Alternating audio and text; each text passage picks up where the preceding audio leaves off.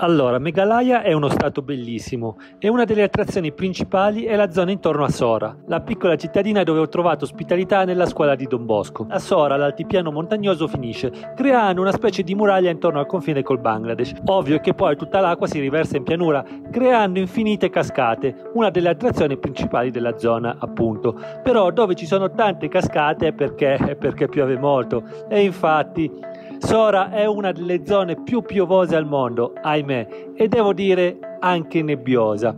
Dopo una lunga attesa nella speranza si aprisse una breccia tra le nuvole, eccole lì le cascate che cadono dall'altipiano. Ce ne dovrebbero essere sette, una a fianco all'altra, le sette sorelle, però oh, bisogna anche accontentarsi, no?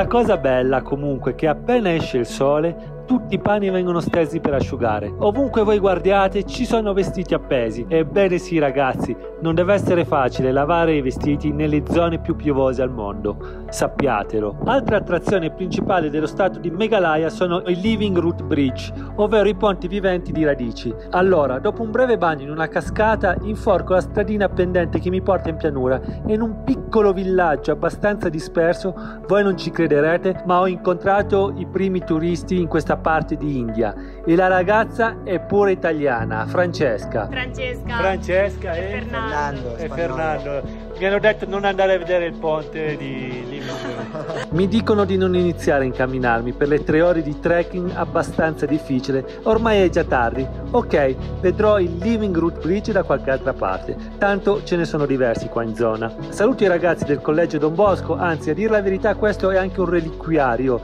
dato che vi è il braccio destro di Don Bosco. Pensa un po' dove è finito, in che zona remota di mondo. E poi, e poi via verso altri incredibili posti. Mi raccomando, un like, un commento, una donazione o acquisto di qualche gadget. Vi voglio bene!